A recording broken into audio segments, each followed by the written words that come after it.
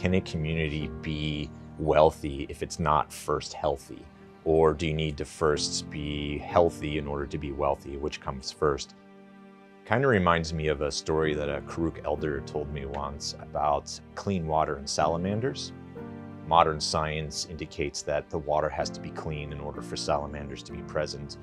The Karuk elder said it's the other way around, and you need salamanders because they are the cleaners of the water and it's their job to keep the water clean.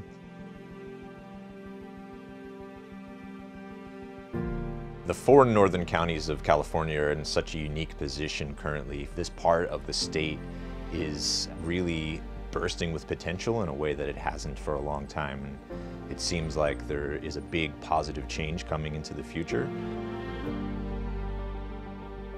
When individuals are struggling, the companies they work for are going to struggle as well as the industries that those companies are in and then the region. It's all connected in such an important way. Any one level can affect the rest.